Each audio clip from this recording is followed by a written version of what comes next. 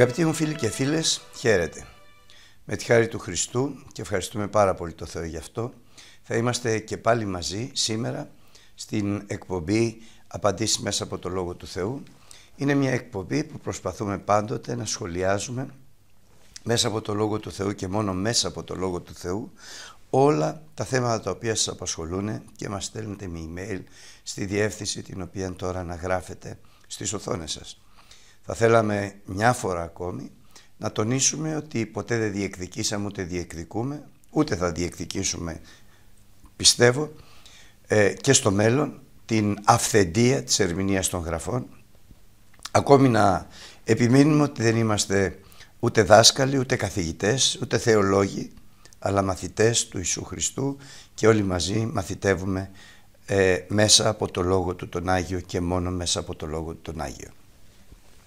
Σήμερα θα αρχίσουμε με μία ε, ερώτηση μιας ε, κυρίας ανώνυμης, μάλιστα που δεν θέλει να αναφερθεί το όνομά της, η οποία μας έγραψε. Καλημέρα σας.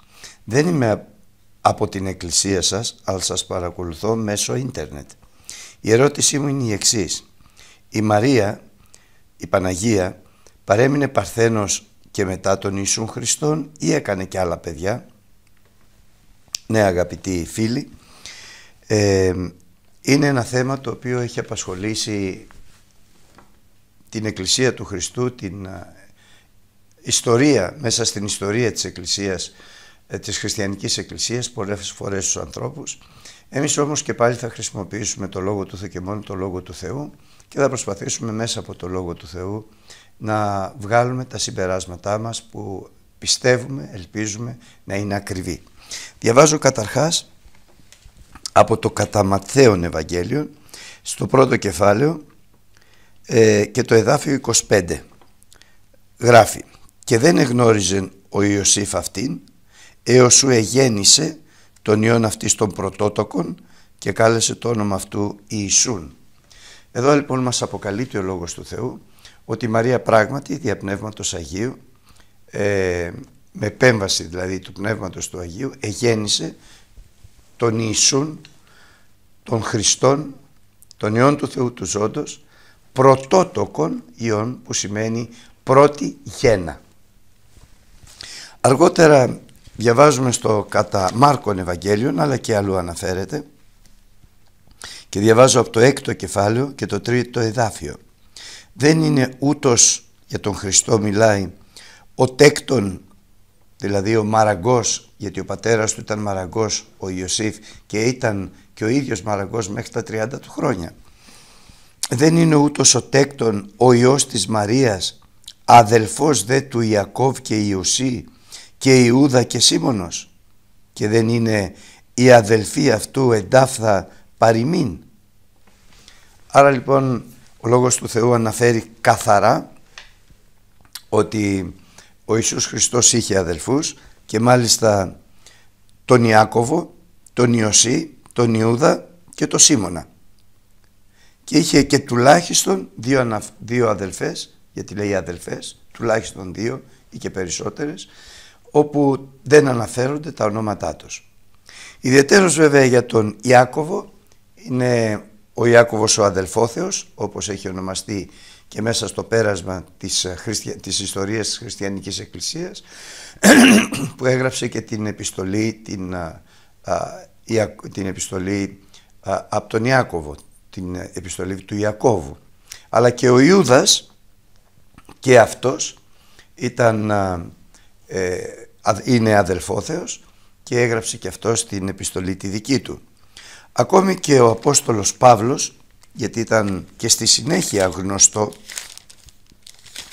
όταν αναφέρεται στην ελευθερία που είχε να κηρύττει το Ευαγγέλιο και να μεταφέρει γυναίκα όπως σαν Απόστολος όταν κάποτε τον αμφισβήτησαν ε, ότι ήταν Απόστολος και ιδιαίτερα επειδή δεν έπαιρνε χρήματα καθώς είχε διατάξει ο Ιησούς Χριστός οι κηρύττοντες του Ευαγγέλιο να ζώσει από το Ευαγγέλιο διαβάζω στην επιστολή του Αποστόλου Παύλου που γράφτηκε την πρώτη που γράφτηκε περίπου το 55 ε, με 60 μετά Χριστό γράφει ο Απόστολος Παύλος στο ένατο κεφάλαιο και τέταρτο εδάφιο.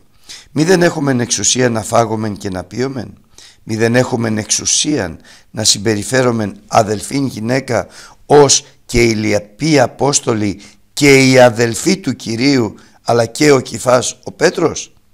Άρα ήταν γνωστό στην πρώτη Αποστολική Εκκλησία αλλά και που είναι τον πρώτο αιώνα, αλλά και στην αρχαία εκκλησία που είναι τους τρεις με τέσσερις πρώτους αιώνες, δηλαδή μέχρι το 400 περίπου ε, μετά Χριστό, ότι ο Ιησούς Χριστός είχε αδελφούς ε, και μάλιστα τους συγκεκριμένους όπως αναφέρονται ε, μέσα στη Γραφή που σημαίνει ότι είχαν γεννηθεί από τη Μαρία την Παρθένο. Ε, γι' αυτό και ονομάζεται ο Ιησούς Χριστός πρωτότοκος.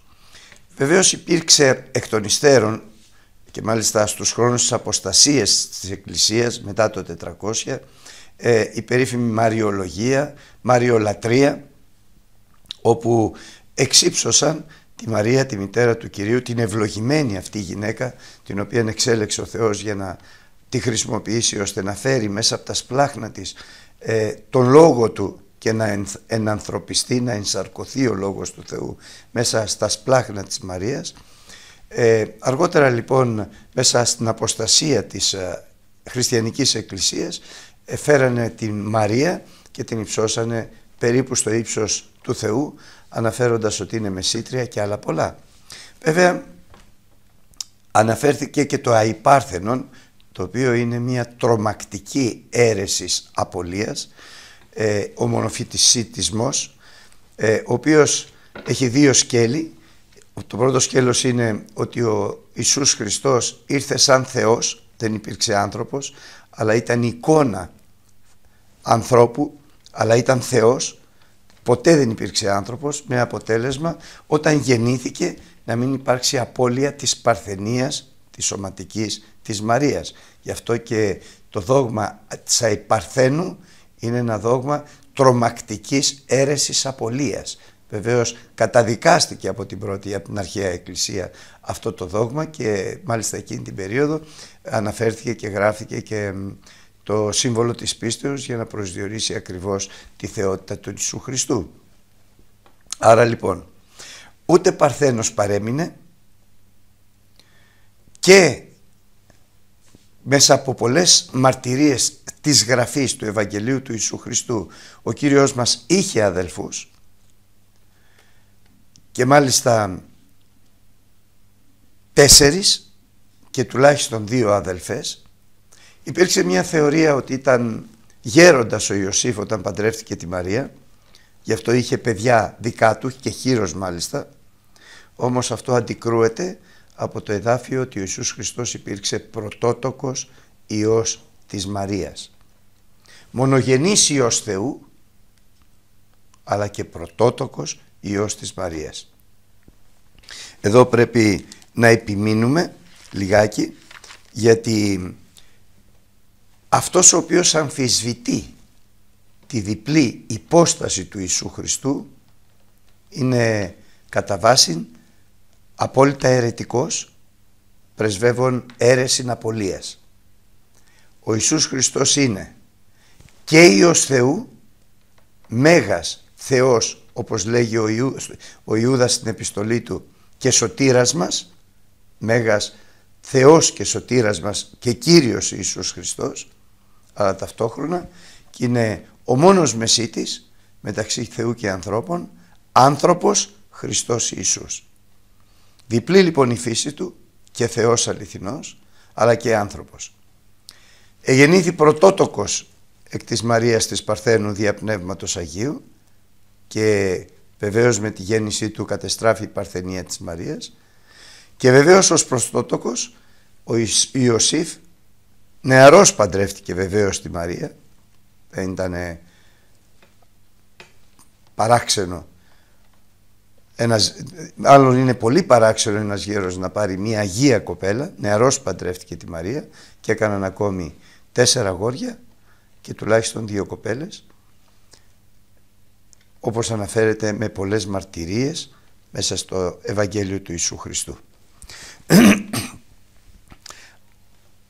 Τώρα, οι διάφορες παραδόσεις ε, οι οποίες μάλιστα αναπτύχθησαν ιδιαιτέρως στην Ανατολική Ορθόδοξη Εκκλησία και στη Δυτική Ρωμαιοκαθολική Εκκλησία ιδίως μετά το σχίσμα και πριν το σχίσμα αλλά ιδίως μετά το σχίσμα θεωρούμε ότι είναι εντελώς αντιγραφικές απόψεις οι οποίες δημιουργούν σύγχυση στο λαό του Θεού οι οποίοι περιμένουν σωτηρία από τη Μαρία τη μητέρα, την Αγία γυναίκα, την Αγία μητέρα του Κυρίου και από άλλους ανθρώπους τους αποκαλουμένους Αγίους στον ουρανό που είναι περιμένουν σωτηρία και μεσητεία σε αντίθεση με το Λόγο του Θεού που μόνος μεσίτης ανάμεσα στο Θεό και στους ανθρώπους είναι ο Ιησούς Χριστός, ο άνθρωπος Χριστός Ιησούς, ο Κύριος και μόνο όποιος επικαλεστεί το όνομα του Ιησού Χριστού θα σωθεί. Και επειδή αυτές οι παραδόσεις όπως είπαμε αποπροσανατολίζουν τους ανθρώπους και τους οδηγούν μακριά από τη σωτηρία και από την αιώνια ζωή που προέρχεται μόνο δια του Ιησού Χριστού του Κυρίου ημών. Και δεν χρειάζεται κανείς μεσίτη για να πλησιάσει τον Χριστό γιατί ο Ιησούς Χριστός είναι ανεστημένος και είναι πανταχού παρόν και αυτός εξέρχεται για να αναζητήσει, να ψάξει και να βρει το απολολός και να το φέρει κοντά.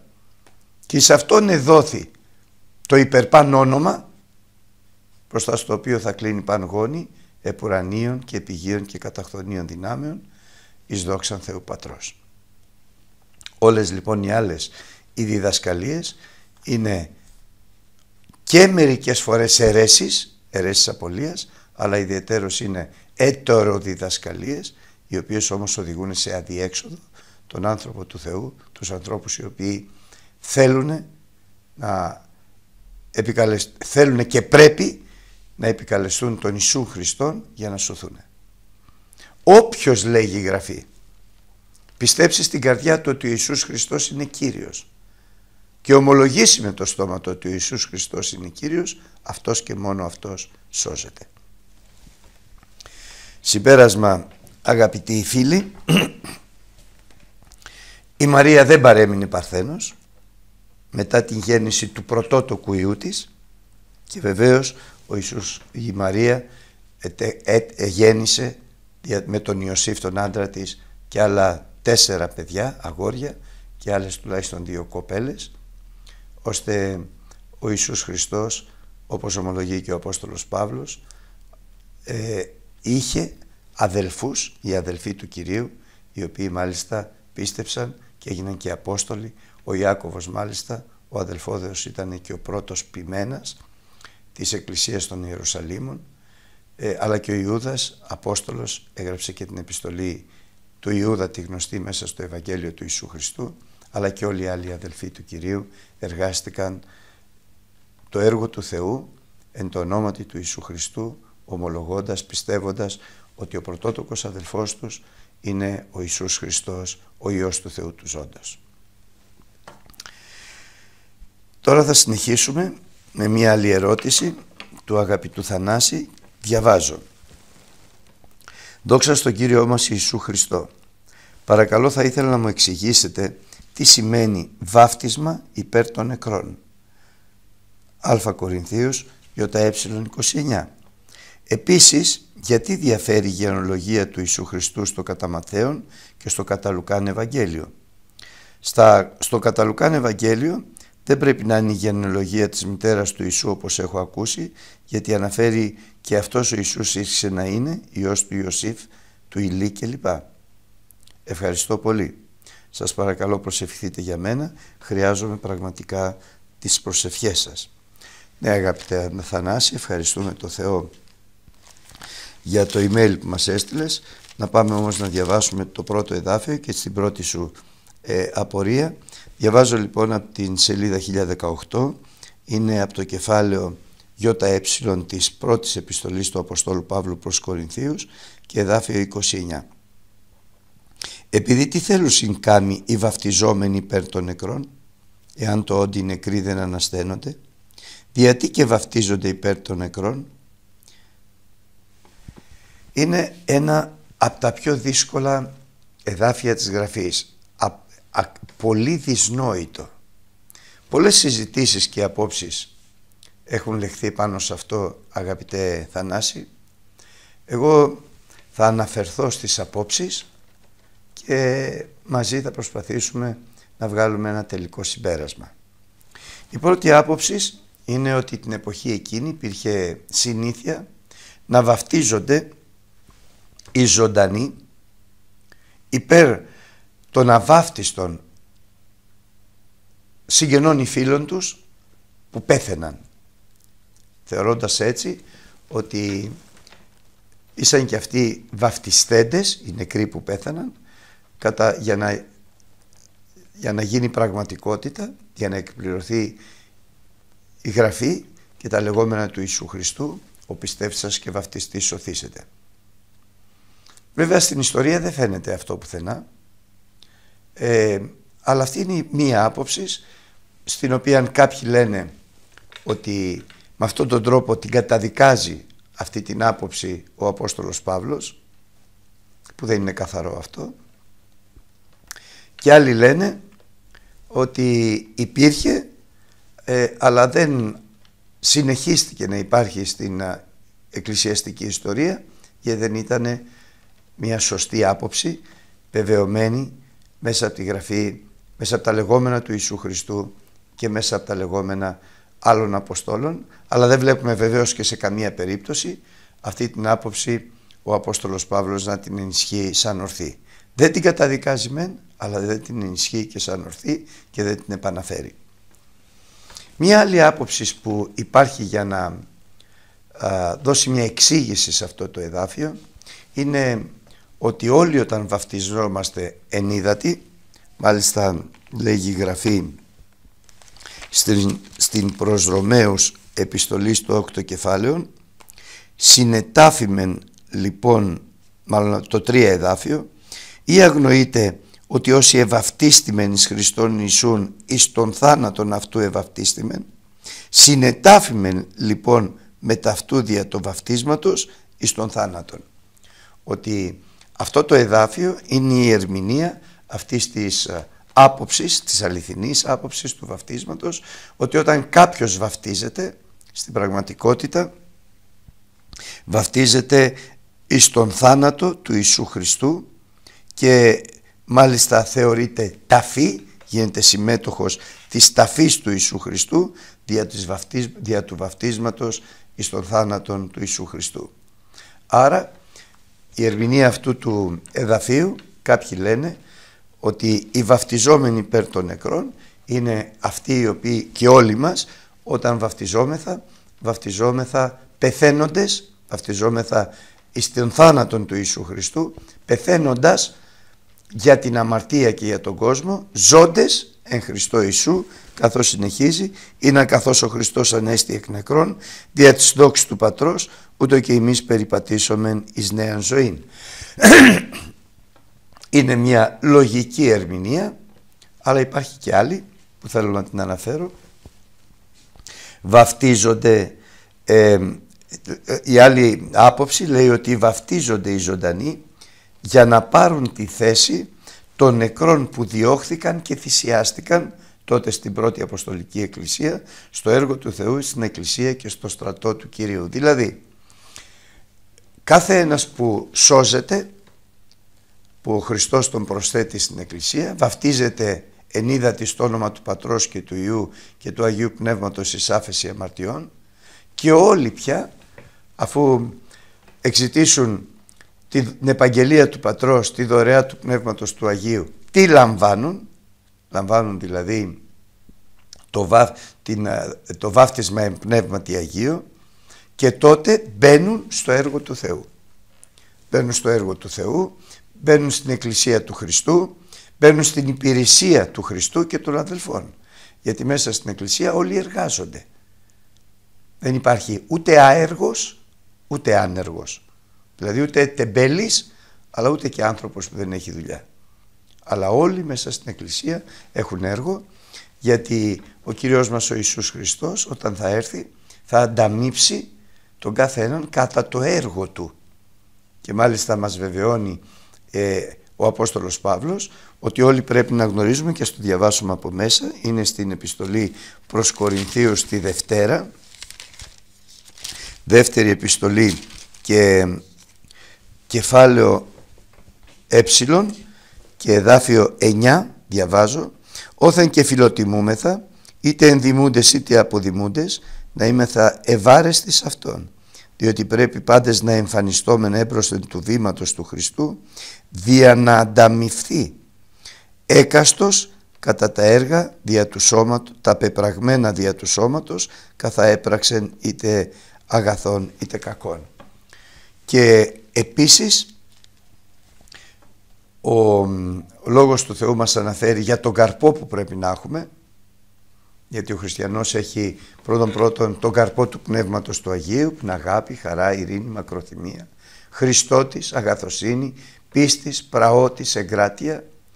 Αλλά να έχει και έργο και καρπό χιλέων ομολογούντων το όνομα του Χριστού αλλά και έργο συγκεκριμένο καθώς είναι γεγραμμένο πάλι λεχθένα από τον Κύριό μας τον Ιησού Χριστό ότι εδίψασα και μου δώσατε να πιω, επίνασα και μεταΐσατε, στη φυλακή ήμουν και ήρθατε προς με, ε, ασθενής ήμουν και με επισκεφθήκατε ε, και όταν το ρώτησαν οι Άγιοι άνθρωποι του Θεού «Κύριε πότε το κάναμε αυτό εις ένα» τους απάντησε εφόσον κάμνατε αυτά εις έναν των αδελφών μου των ελαχίστων εις με κάματε. Άρα μέσα στην Εκκλησία του Χριστού όλοι έχουν καρπό και όλοι έχουν έργο ώστε ο Κύριος να, όταν θα έρθει να παραλάβει την Εκκλησία Του να δώσει στον καθέναν μισθό κατά το έργο αλλά και κατά τον καρπό εκάστου. Στην πρώτη λοιπόν Αποστολική Εκκλησία που αναφέρεται ο Απόστολος Παύλος είχαν αρχίσει οι διωγμοί και μάλιστα όποιος τολμούσε και βαφτιζότανε τότε και γένετο γνωστό από τους καταρχάς Ιουδαίους αργότερα και Ρωμαίους τότε συνελαμβάνονται και θανατώνεται. Και έτσι η θέση στο έργο έμενε κενή, η θέση στην εκκλησία έμενε κενή, η θέση στο στρατό του Χριστού έμενε κενή.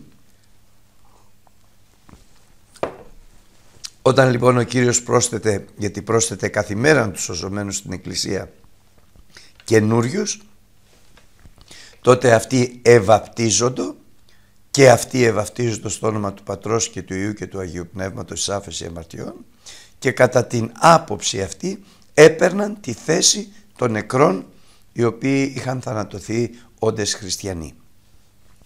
Αυτές οι τρεις απόψεις είναι οι σημαντικότερες που επικρατούν στην ερμηνεία αυτού του εδαφίου αγαπητέ Θανάση. Βέβαια για να πω την αλήθεια Υπάρχουν άνθρωποι, ίσως είμαι και εγώ ένας από αυτούς, που δεν μπορώ να πω ότι καμία από αυτές τις απόψεις γέμισε την καρδιά μου και θεώρησα και θεωρώ ότι είναι η απάντηση. Εγώ εμένω σε αυτό που είπα στην αρχή της ερώτησής σου ότι είναι ένα από τα πιο δυσνόητα εδάφια στα οποία με παρησία δεν μπορούμε να αναφερθούμε γιατί δεν βλέπουμε, και γι' αυτό δεν μπορούμε να αναφερθούμε, να διερμηνεύεται και να επεξηγείται το εδάφιο αυτό σε άλλα σημεία των γραφών. Να συνεχίσουμε στην επόμενη ερώτησή σου αγαπητέ Θανάση. Γιατί διαφέρει η γενεαλογία του Ιησού στο κατά και στο κατά Ευαγγέλιο; Στο κατά δεν πρέπει να είναι η γενεαλογία της μητέρας του Ιησού όπως έχω ακούσει γιατί αναφέρει και αυτός ο Ιησούς ήρθε να είναι Υιός του Ιωσήφ, του Ηλί κλπ. Ε, καταρχάς με τα πάσης βεβαιότητος αγαπητέ Θανάση ε, κανένα από τα δύο Ευαγγέλια δεν αναφέρεται στην γενεαλογία της Μαρίας γιατί γνωστόν είναι ότι η Μαρία δεν προέρχεται από τη φυλή του Ιούδα ε, άρα και από το γένος του Δαβίδ αλλά όπως λέγει η Γραφή για τους συγγενείς αυτής στο Καταλουκάν Ευαγγέλιον διαβάζω στο πρώτο κεφάλαιο και το πέντε εδάφιο υπήρξε δε επί των ημερών Ηρώδου του βασιλέως της Ιουδαίας ιερεύς της το όνομα Ζαχαρίας εκ της εφημερίας Αβιά και η γενή αυτού ήτο εκ των θυγατέρων του Ααρών και το όνομα αυτής Ελισάβετ. Και λοιπόν ο Ζαχαρίας αλλά και η Ελισάβετ ήταν εκ της φυλής Λεβί άρα και η συγγενής αυτών Μαρία η Παρθένος ήταν εκ της φυλής Λεβί.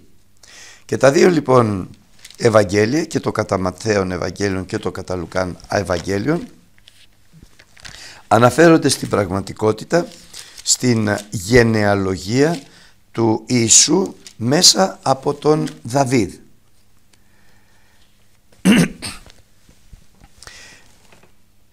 Το κατά Ματθαίον Ευαγγέλιον αρχίζει από τον Αβραάμ, συνεχίζει στο Δαβίδ και προχωράει μέσα από τον ιό του Δαβίδ το Σολομώντα και στη συνέχεια φτάνει μέχρι τον Ιακώβ ώστε σε γέννησε τον Ιωσήφ που ήταν ο πατέρας του. Το κατά Λουκάν Ευαγγέλιον αρχίζει από τον Αδάμ, τον Υιόν του Θεού, το πρωτόπλαστο, φτάνει βεβαίως στο Δαβίδ και προχωράει στον επόμενο Υιό του, τον Άθαν και φτάνει μέχρι τον Ηλί που τον ονομάζει και αυτόν Υιό του Ιωσήφ. Η... Στο πρώτο να πούμε αυτό, στο πρώτο το κατά Ματθαίον Ευαγγέλιο παρουσιάζει τον Ιησού Χριστόν σαν Μεσσία μέσα από το βασιλικό κλάδο και μέσα από τις υποσχέσεις του Θεού από τον Αβραάμ. Στο δεύτερο, το Καταλουκάν Ευαγγέλιο παρουσιάζει τον Ιησού Χριστόν ε, σαν τον δεύτερο Αδάμ, ο οποίος και ελευθέρωσε τους ανθρώπους από την αμαρτία που έφερε η ανυπακοή του Αδάμ στην ανθρωπότητα και της αμαρτίας στο θάνατο. Ο δεύτερος Αδάμ έφερε την υπακοή και δια της υπακοής έφερε την ζωή την αιώνιο.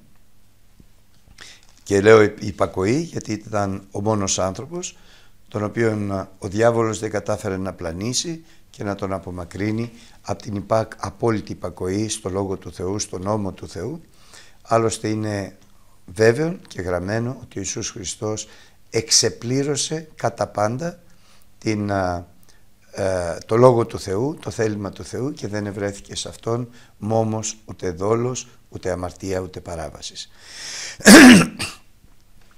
Τώρα στο κρίσιμο σημείο, γιατί ο Ματθαίος αναφέρεται ότι ο πατέρας του είναι ο Ιακώβ και ο, Αδά, και ο Λουκάς αναφέρει στο Καταλουκάν Ευαγγέλιο αναφέρεται ότι ο, είναι ο Ηλί ο πρόγονος του ε, Ιωσήφ. Ιστορικά λέγεται ότι ο Ηλί ήταν παντρεμένος πέθανε χείρεψε και την γυναίκα του την ενυφεύθη ο Ιακώβ.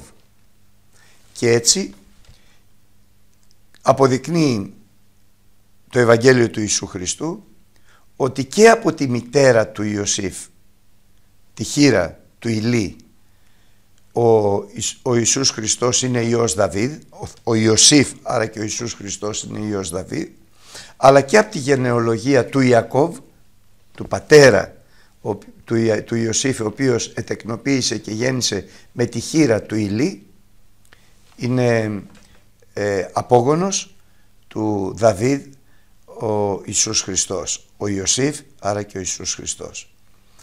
Αυτή είναι η άποψη που ιστορικά περιγράφεται. Επειδή όμως η εκπομπή μας αναφέρεται ότι οι απαντήσεις δίδονται μέσα από το Λόγο του Θεού και μόνο μέσα από το Λόγο του Θεού, αναφέρω και λέω ότι τα ιστορικά δεδομένα γράφουν έτσι, ελπίζω ότι είναι σωστά, το βέβαιο είναι όμως ότι και οι δύο γενεαλογίες αφορούν τον Ιωσήφ, ο οποίος ήταν ο άντρας της Μαρίας, δια της οποίας ήλθε στη γη εκ Πνεύματος Αγίου ο Ιησούς Χριστός ο Κύριος. Τα λεγόμενα δε ότι είναι η γενολογία της Μαρίας το ένα Ευαγγέλιο και η γενολογία του Ιωσήφ το άλλο Ευαγγέλιο γραφικά δεν είναι σωστό γιατί όπως είπαμε στην αρχή η Μαρία δεν ήταν εκ της φυλής μάλλον του Ιούδα και η συνέχειά της από τον Δαβίδ αλλά ήταν εκ της φυλής του Λεβί καθώς ήταν συγγενής του Ελισάβετ αλλά και του Ζαχαρία οι οποίοι και οι δυο ήσαν εκ της φυλής του Λεβί. Εδώ όμως ε, αγαπητοί φίλοι και φίλες θα πρέπει να τονίσουμε και μία άλλη εκδοχή ε, που είναι γραμμένη και μάλιστα θα τη διαβάσω από την εγκυκλοπαίδεια του Χάλεϊ ακριβώς όπως το έχει γράψει. Διαβάζω. Η γενικά παραδεδογμένη άποψη ότι ο Μαθαίος δίδει τη γραμμή του Ιωσήφ αποδείχνοντας τον Ιησούν τον νόμιμο κληρονόμο των υποσχέσεων των δοσμένων στους Αβραάμ και Δαβίδ και ότι ο Λουκάς δίδει τη γραμμή της Μαρίας αποδείχνοντας την εξέματος καταγωγή του Ιησού Ιού του Δαβίδ κατά σάρκα. Ρωμαίος 1.3 Η γενεαλογία της Μαρίας κατά την Ιουδαϊκή συνήθεια ήταν στο όνομα του ανδρός της. Ο Ιωσήφ ήταν Υιός του Ηλί, δηλαδή χάμβρος του Ηλί. Ο Ηλί ήταν πατέρας της Μαρίας, πατέρας όμως του Ιωσήφ ήταν ο Ιακώβ. Αυτά αναφέρουν και είναι μια γνωστή άποψη μέσα στους α, χριστιανικούς κύκλους και θεολογικούς κύκλους. Ε, πιθανόν να είναι σωστή. Ε, εκείνο όμως που βλέπουμε από τη Γραφή και δεν ισχυριζόμαστε ότι έτσι είναι, εκείνο όμως που βλέπουμε από τη Γραφή είναι ότι η Μαρία είναι συγγενής της Ελισάβετ που ήταν θυγατέρα, του, της, τον θυγατέρα του Ααρών, άρα της φυλής Λεβί, καθώς και ο Ζαχαρίας. Τώρα, αν υπήρχε άλλη συγγένεια εξαγχεστίας και αν πράγματι ο Ηλί ήταν ο, ο Ιωσήφ ήταν γαμπρός του Ηλί, υπάρχουν δύο λοιπόν απόψεις. Η μία είναι η άποψη, σαν συμπέρασμα, ότι η γυναίκα του Ηλί η χείρα του Ηλί παντρεύτηκε τον Ιακώβ και οι δύο αναφέρονται στη γενολογία και οι δύο γενολογίες και του κατά Ματθαίον Ευαγγελίου και του κατά Λουκάν αναφέρονται στον Ιωσήφ. Η άλλη άποψη είναι ότι ο Ιακώβ ήταν γαμπρός του Ηλί άρα ο Ηλί ήταν ο πατέρας της Μαρίας. Ο Θεός ξέρει. Και αν κάποιος από σας ξέρει κάτι πολύ περισσότερο ε, είμαστε πρόθυμοι να το ακούσουμε και να το διαβάσουμε.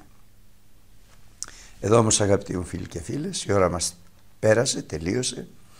Ευχαριστούμε πάρα πολύ το Θεό για σας, για τα σχόλιά σας, για τις ερωτήσεις που μας στέλνετε και ευχόμεθα σε όλους εσάς που μας ακούτε στο όνομα του Χριστού ο Θεός να σας ευλογεί πάντοτε με κάθε ευλογία πνευματική στα επουράνια τε του Ιησού Χριστού. Μέχρι την επόμενη εκπομπή μας σας ευχόμαστε κάθε ευλογία Θεού. Ο Θεός μαζί σας.